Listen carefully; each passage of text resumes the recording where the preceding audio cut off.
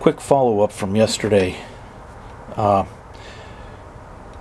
I installed lock washers underneath all the screws and that makes the screws uh, level with the bottom of the fuel pump. Then I took the spare parts and put them in the Dorman box for that little freeze plug. I peeled the sticker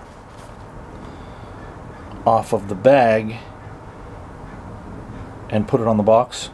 So if I ever need a rebuild kit for this style, the two two valve fuel pump, I know what to order.